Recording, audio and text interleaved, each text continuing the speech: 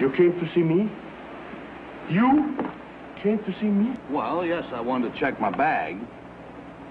Oh, Thank you.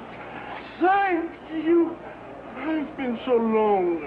Oh, I'm sorry to hear that, but if you... I, I don't know what's the matter with me. Nobody comes to my counter. I see nobody. I see nothing. The other fellows, they get 30, 40 pieces of luggage every hour. Nice, glad luggage.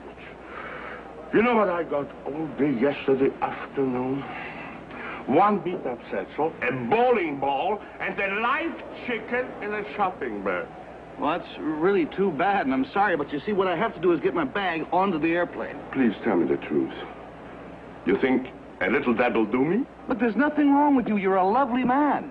It's just that I do have to get my bag onto the airplane. Every time I meet a good friend, they fly away. Where are you going, old pal? California.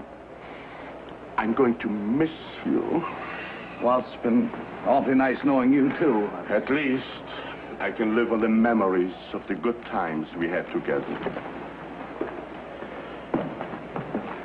Listen, don't forget to write.